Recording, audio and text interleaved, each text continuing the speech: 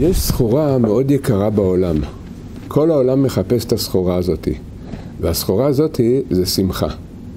כולם מחפשים איך להיות שמחים. אומר רבי נחמן מברסלב, מהו השורש של השמחה? זה כאשר האדם יודע שהקשר שלו עם הקדוש ברוך הוא, קשר טוב, האדם שמח. כל שורש העצבות זה שמתקלקל הקשר בינינו לבין הקדוש ברוך הוא. לכן, כדי לזכות לסחורה היקרה הזאתי, מה אנחנו צריכים לעשות? פשוט ליצור קשר חדש עם הקדוש ברוך הוא.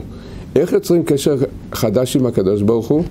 באמת, שאלה כל כך עמוקה, והתשובה היא הכי פשוטה בעולם. פשוט אומרים לו, אבא, אני רוצה ליצור איתך קשר חדש. אני רוצה להתחיל איתך דף חדש. וכל יום צריך להגיד לקדוש ברוך הוא, אני רוצה להתחיל איתך דף חדש. והקדוש ברוך הוא כל כך שמח מהבקשות האלה והדיבורים האלה, שעל ידי זה נפתח באמת דף חדש וזוכים לשמחה. להקדשת השיעורים של הרב להצלחה, לזיווג, שלום בית, רפואה, לעילוי נשמת. התרומה עבור עזרה להפצת התורה. ניתן לפנות לטלפון 02-650-2929. תודה רבה ותזכו למצוות.